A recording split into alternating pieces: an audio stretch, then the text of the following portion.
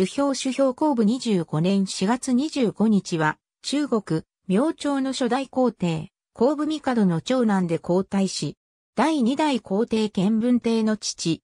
母は、馬皇后。明朝建国後、皇太子に建てられて、重臣、上優春の娘、上司を妻に迎える。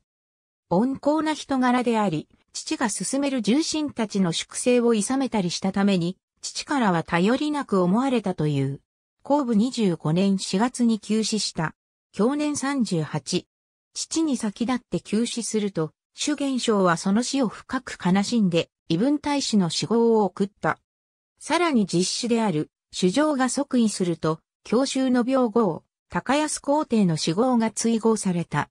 主表の創生は、父による粛清を加速させた上に、西南の変の原因の一つになるなど、数々の悲劇を生み出す原因となった。永楽帝が帝位につくと、異文大使に追下した。後に、広光帝が南明の皇帝に即位すると、高安皇帝の死号が付され、改めて追巫子とされた。高安皇后上司皇太后呂氏、具海王主遊泳県文帝主上号主上、皇王主上上主上江戸公主よ。林群主公主南平公主。ありがとうございます。